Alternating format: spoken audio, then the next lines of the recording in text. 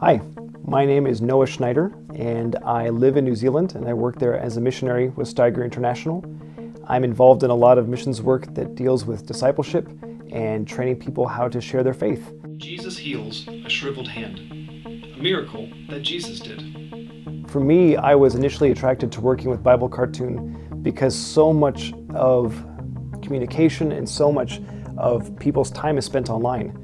And so for to find a way to creatively present the Bible and the gospel online where people can see it and hear it, but then also see it in a creative way, to me, I think is amazing.